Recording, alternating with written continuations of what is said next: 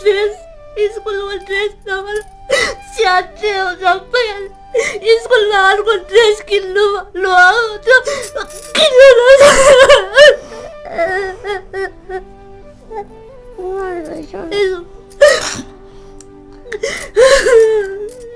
Dress किन्ने पनि पैसा छैन है अलिअलि भएको राखेको सबै यताउति गरेर यसकै उपचारमा सक्यो तिनवटा अपरेसन गर्न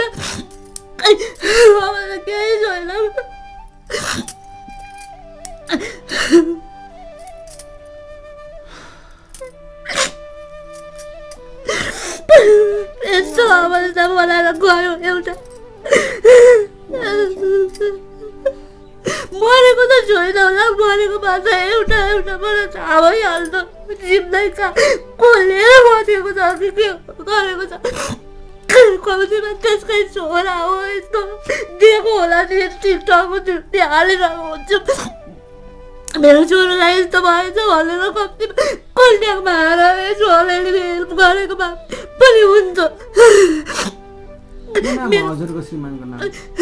दिलीप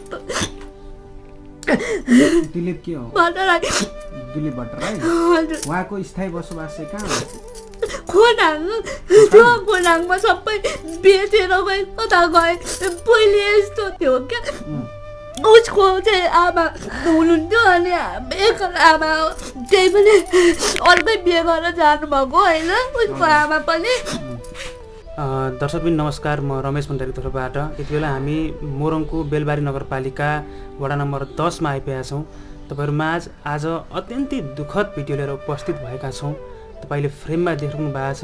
एकजना सानो बाबु त्यसै गरी साथमा उहाँको मम्मी हुनुहुन्छ। उहाँहरू दुवैजना शारीरिक रूपमा अशक्त हुनुहुन्छ। उहाँले रुँदै फोन गर्नुभयो है र यति बेला हामी मम्मी त्यसै गरी सानो बाबुलाई भेट्न आइपुगेका छौँ। हाम्रो उहाँहरूलाई स्वागत गरौँ। यहाँहरू दुवैजनालाई नमस्कार। जस्तो अब दिदी है तपाईँले रुँदै फोन गर्नुभयो होइन? धेरै गाह्रो भयो हामीलाई भन्नुभयो। खासमा भएको चाहिँ के हो दिदी? भएको चाहिँ अहिले चाहिँ बाबुलाई पत्थरिया भएको छ अनि अहिले अपरेसन हुँदैछ बाबुको। अनि अस्ति भर्खर अपरेसन गरेर ल्याएको अब फेरि पाँच गते लानुपर्ने छ अनि अझै अर्को पनि बाँकी नै छ। अब तिनवटा चाहिँ सक्यो गरेर त्यो अस्ति रोहितले सबैजनाले हेल्प गरेर त्यो तिनवटा अपरेसन चाहिँ सकिएको छ अझै दुइटा बाँकी छ।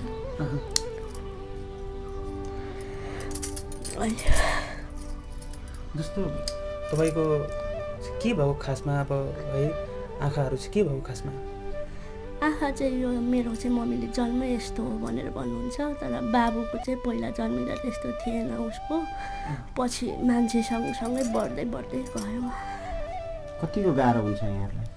अन्त हजुर। पनि धेरै गाह्रो हुन्छ बाहिर हेर्न ओर्न। अनि नजिकैको धेरै नजिकैको मात्रै देखिन्छ अनि अहिले तपाईँहरूको अनुहार पनि देखिँदैन त्यो धेरै। जस्तो तपाईँहरूले अहिले हेरिराख्नु भएको छ हामीले तर देख्नु भएको छैन है। एकदम गाह्रो हुन्छ।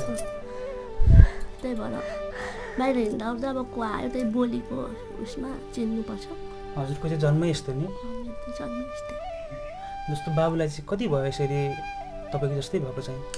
मलाई ऊ बाबुलाई त अलिक सानोमा त्यस्तो थिएन दुई तिन महिना भएपछि बढ्दै बढ्दै गएको। उसको त्यस्तो थिएन जन्मिँदा जस्तो तपाईँहरूको अहिले स्वास्थ्यमा थप समस्या आयो होइन? बाबुलाई अझ थप पथरिया भएछ थप पीडा भयो है? आर्थिक अवस्था नभएर तपाईँले आज हामीलाई बोलाउनु भयो होइन? जस्तो कति जति चाहिँ खर्च लाग्छ भनेर भन्नुभएको छ डक्टर साहबले? यति उति भन्नै भएको छैन धेरै लाग्छ भन्नुभएको छ। अब फिक्स नै हुँदैन तिनवटा त गर्दा थोरै सक सबै सकिसक्यो मम्मीहरूको भयो जति यताउति अलिअलि भएको। ऋण पान सबै सकिसक्यो अनि अब अझै दुईवटा बाँकी छ के गरी गर्नु कसरी गर्नु भनेर म आफै तनाव भएर डिप्रेसन भएर दबाई खाइरहेको छु। अनि त्यही भएर मलाई दबाई खान पनि समस्या छ। मेरो दुई हजारको दबाई लाग्छ महिनाको त्यही पनि समस्या भयो।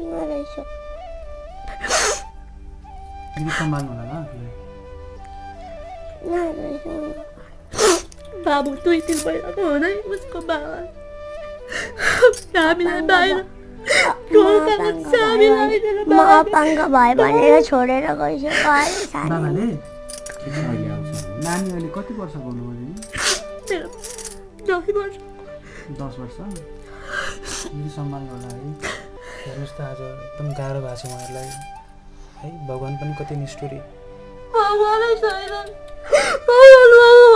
यस्तो हुन्छ त हामीलाई अभागै भए भए पनि बाबु न सोचेर उसको उपचार गर्नु पैसा नभएर अस्ति हेर्ने एउटा दुइटा उपचार सबैजनाले हेर्नु गर्नु गर्नुभयो अहिले घरको पनि छ उसको बाबा पनि कता जानुभयो उसलाई दुई तिन महिनामा छोडेर गएको कहाँ छ के छ सबै हेर मर्नु कि बाँच्नु मेरो केही सहारै छैन न घर छ न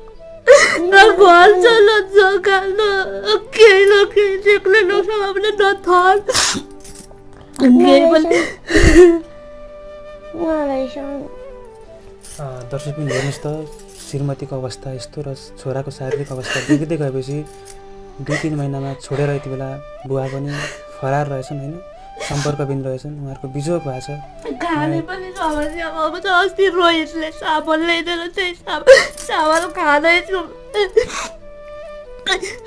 आजलाई चामल छ कि छैन छ रोहितले अस्ति ल्याइदिनु त्यो त्यही खाँदैछु त्यो छैन बाबुको एडमिसनसम्म गरेको छैन उसको ड्रेस स्कुलको ड्रेस नभएर च्याटे हो स्कुलमा अर्को ड्रेस किन्नु भन्नु हो। त्यो किन्नु उहाँलाई सँग ड्रेस किन्ने पनि पैसा छैन है अलिअलि भएको राखेको सबै यताउति गरेर यसकै उपचारमा सक्यो तिनवटा अपरेसन गर्न अब त केही छैन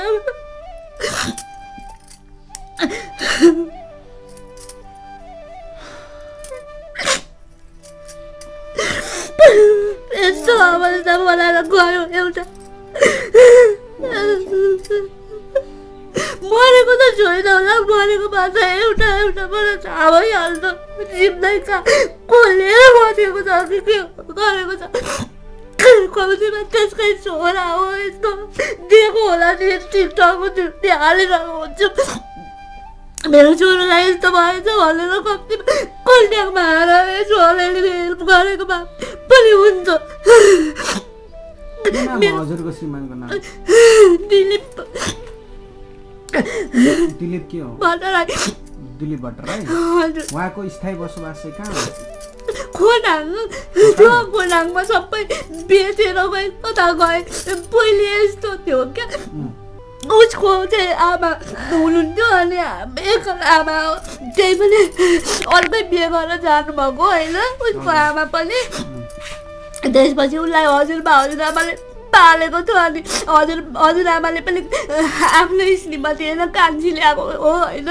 पहिले कति धेरै जग्गा थियो उस उतापट्टि उसको तर त्यो हजुरआमाले सबै लिएर काठमाडौँको एउटा बाजेसँग पहिला गयो कि सबै लिएर मेरो बाबुलाई पनि हुन्थ्यो नत्र।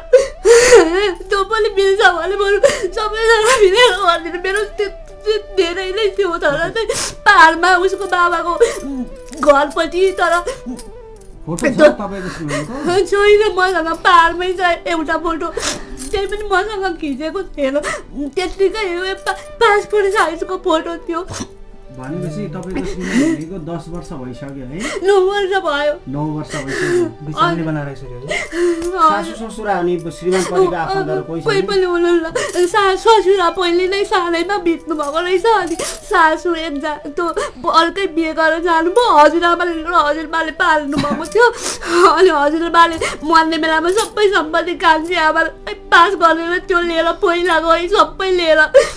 काठमाडौँमा अब हामीलाई अलिकति जानकारी सजिलो नहुनेलाई हजुरको जुन आँखा चेकअप गराउनु भएको छ। छैन गराएको पैसा भएको पैसै नगर है गराएको छैन त्यही। बाबुको पनि गराउनु भएको छैन उसको त अपरेसन गर्दा हुन्छ। होला भन्नुभएको थियो दस वर्षभित्रमा गरौँ भने काठमाडौँ तिलगङ्गा लानु भनेर भन्नुभएको थियो तर लानै सकिनँ मैले। कति खर्च लाग्छ अरे बाबुको?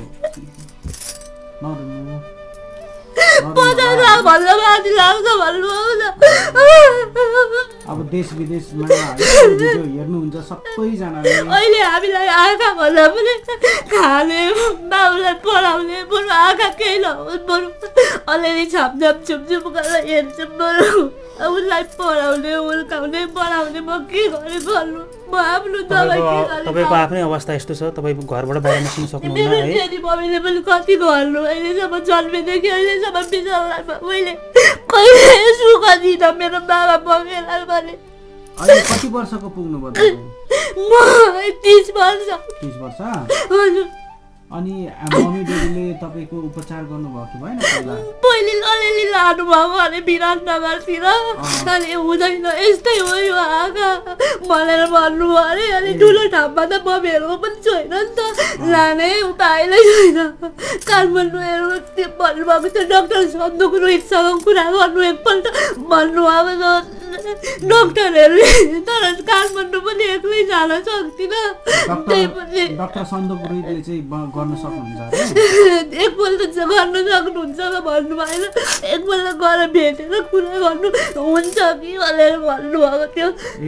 भनेपछि तपाईँहरूको आशा सन्दोक रोहित हुनुहुन्छ नि त तपाईँको पनि नानीको पनि चाहिँ कि नानीको बाबुको मात्र त्यो सन्दोक भेट्नु पर्यो बाबुको चाहिँ भन्नुभएको छ मेरो त हुँदैन अब। हुँदै हुँदैन अरे। बाबुको पनि हुन्छ कि हुँदैन तर भेट्छ चाहिँ एकपल्ट कुरा गरेर भेटेर गर्नु पैसा चाहिँ धेरै लाग्न सक्छ भन्नुभएको थियो। विराटनगर गोल्छा आँखा हस्पिटलबाट यो के रोग हुँदा चाहिँ यस्तो आँखा हुँदो रहेछ केही के थाहा? छैन केही? चेकअपै गराएको छैन भित्र के भएर कसो भएर के रोग लागेर त्यो पनि थाहा छैन जस्तो आँखा त यस्तो थियो थियो तर थप समस्या स्वास्थ्यमा आएछ बाबुको होइन। पथरिया भएछ होइन अब अर्को अपरेसन गर्नु कति लाग्छ भन्नुभएको छ डक्टर साहबले अब दुइटा खै यति उति नभन्नु भन्नुभएको छ धेरै थोरै कति लाग्छ त्यो नतोक तोकेर भन्नु हुँदैन अरे डक्टर भन्नुभएको बिहान बेलुका नुन तेल खाने पैसा छैन है। कसरी अपरेसन गर्ने त्यो त टाढाकै कुरा हो। त्यही भएर आज रुँदै कराउँदै तपाईँ मिडियामा केही सहयोगको आशाको किरण बोकेर आउनु भएको छ नि। हजुर हजुरहरूले सबैजनाले म तपाईँहरूलाई फोन गरेर मेरो लागि केही हुन्छ कि भनेर मैले पहिला पहिला एउटा कुन हो मिडिया थाहा छैन म चिन्दिनँ होइन म मजाले देख्दिनँ भने उहाँले के भिडियो मात्रै बनाउनु भयो केही गरिदिनु भएन के सहयोग गरेर होइन? हामी सहयोगहरू पनि गरिदिनु भएन त्यही एउटा भिडियो भिडियो बनाउने बित्तिकै सहयोग आउँछ भन्ने पनि तर आशा गरौँ सहयोग आउँछ भन्ने आशा गरौँ होइन तपाईँहरूको पीडा यो रोदन यो दुःख देखेर धेरै मनकारी नेपालीहरू हुनुहुन्छ देश तथा विदेशमा छरिएर बस्नु भएको छ। होइन उहाँहरूले सहयोग गरिदिनुहुन्छ यो तपाईँहरू दुःख देखेर है यो बाबुको अवस्था देखेर। बाबुको पछिको लागि पनि एकदमै समस्या हुन्छ यो अपरेसन। भइसकेपछि पनि म के गरी नानी हुर्काउनु के गरी पढाउनु के गरी ठुलो बनाउनु? म आफै केही गर्न सक्दिनँ के गरी खानु? स्कुलको ड्रेस लुगा फाटो अहिले त डेली हुनुहुन्छ र गरिदिँदै हुनुहुन्छ अलिअलि। डेली पनि घरमा बस्नु भएको छ यो चाहिँ भाडामा हो कि के हो? यो डेलीको हो ए, दिदी घरमा बस्नु भएको छ हजुर दिदी मम्मी चाहिँ कहाँ हुनुहुन्छ पाहाड जानुभएको छ जस्तो बाबुको नाम के भन्नुभयो भट्टराई भट्टराई तपाईँलाई के केमा दुख्छ भन्नु त अपरेसन गरेको ठाउँमा ब्लड आउँछ पिसाबबाट ब्लड आउँछ बाबु भित्र पाइप राखिरहेको छ उसको किडनीमा तपाईँ कति वर्ष पुग्नुभयो? दस। वर्ष? जस्तो तपाईँ त एक महिनाको हुँदाखेरि नै बाबाले छोडेर जानुभएको छ नि त होइन? म अपाङ्ग भयो भनेर छोडेर गइसक्यो अरे। हजुर हजुर फेरि भन्नु त। म अपाङ्ग भयो भनेर ढोकामा चाबी लाएर गइसक्यो अरे। तपाईँहरूलाई बाहिरबाट चाबी लगाइदिएर? अरे। मम्मीले भन्नुभएको? हजुर। तपाईँ कतिमा पढ्नुहुन्छ? फाइभ। पढ्न त राम्रै पढेछ ऊ फर्स्ट फर्स्ट हो होइन। फर्स्ट भयो? अँ, हजुर फर्स्ट फर्स्ट भइरहेको छ अहिलेसम्म पढे त तर मैले अब एडमिसनसम्म गर्न पाएको छुइनँ।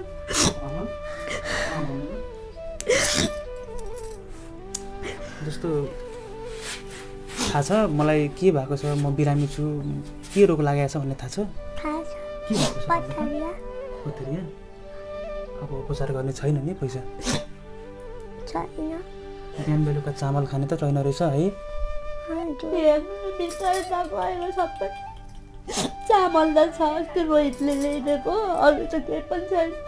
बाबु अनि बाबाले यो भिडियो हेर्दै हुनुहुन्छ भने के भन्न चाहनुहुन्छ? कतैबाट? बोलाउन चाहनुहुन्छ कि? पहिले सानैमा त छोडेर गएको अब चाहिँ अब त अर्कै बिहे गरेर त छ? बोलाएर पनि के आउनुहुन्थ्यो होला र होइन? हजुर त्यो भएर बोलाउन चाहनुहुन्न। बाबाको नाम चाहिँ थाहा छ हजुरलाई? आफ्नै है बाबाको नाम थाहा छैन। छोरा एउटा छोरालाई होइन आफ्नो परिचय पनि नदिकन यति बेला बुवा फरार छ। जन्मदाता नभएर फाइभदेखि जन्मदाता चाहिन्छ अरे जन्मदातासम्म छैन बोलाएको मेरो बिहे दर्ता नभएपछि जन्मदाता हुँदैन। यसको लागि हामी सम्बन्धित निकायमा पहल गर्छौँ है। जस्तो बाबु है धेरैजनाले यो तपाईँहरूको भिडियो हेरिरहनु भएको छ देश तथा विदेशबाट। है यो तपाईँहरूको यो दुःख यो पीडा यो तपाईँहरूको स्वास्थ्य अवस्था देखेर होइन धेरैले सहयोग गर्न चाहनुहुन्छ होला। होइन तपाईँहरूको घाउमा थोरै भए पनि मलम लाउन चाहनुहुन्छ होला। उहाँहरूलाई तपाईँ के भन्नुहुन्छ भन्नुहोस् त। प्लिज सबैजनाले मेरो अपरेसनको लागि हेल्प गर्दैछु। हजुरहरूको सानो सहयोग मेरो लागि धेरै ठुलो हुनेछ। दिदी नरुनु होला आफूलाई सम्हाल्नु होला है। हामी अन्त्यमा छौँ। धेरैजनाले हेरिरहनु भएको छ। देश तथा विदेशबाट मनकारी नेपालीले है? हजुर। उहाँहरूलाई के भन्न चाहनुहुन्छ? अन्त्यमा सबैजनाले मेरो बाबुको अपरेसनको लागि हेल्प गरिदिनु होला भनेर भन्छु। अब कतिवटा अपरेसन अब दुईवटा। त्यो दुईवटा अपरेसन तिनवटा तिनवटा भइसक्यो सबैसँग हेल्प मागेर मैले तिनवटा त गरेँ होइन। अब पनि दुईवटा